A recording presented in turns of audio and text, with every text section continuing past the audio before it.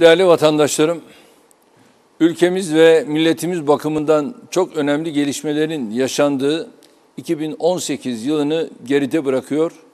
Yeni ümitler ve heyecanlar eşliğinde 2019 yılına giriyoruz. Yeni miladi yılın aziz milletimiz başta olmak üzere bütün insanlığa hayırlar getirmesini Rabbimden niyaz ediyorum. Geçtiğimiz yılı da ülkemize ve milletimize hizmet yolunda dolu dolu programlarla, çalışmalarla, ziyaretlerle, kabullerle geçirdik. Ardı ardına açtığımız şehir hastaneleriyle sağlık hizmetlerinde yeni bir dönemi başlattık, başlatıyoruz.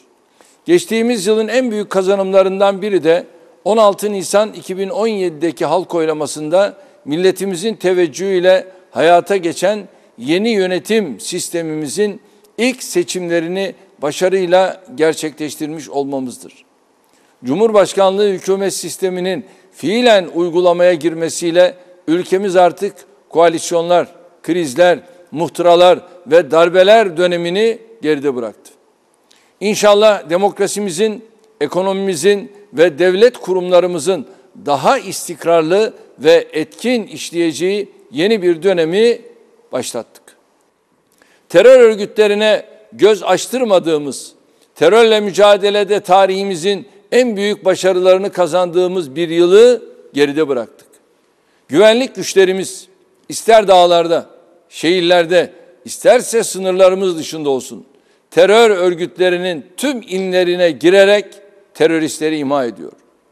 Buradan bir kez daha terörle mücadelede verdiğimiz şehitlerimize Allah'tan rahmet, gazilerimize sıhhat ve afiyet diliyorum. Geride bıraktıkları ailelerine sabırlar diliyorum. Bu duygularla bir kez daha 2019 yılının ülkemiz, milletimiz, bölgemizdeki kardeşlerimiz ve tüm insanlık için barış, huzur, sağlık, güvenlik ve refah içinde geçmesini temenni ediyorum. Kalın sağlıcakla.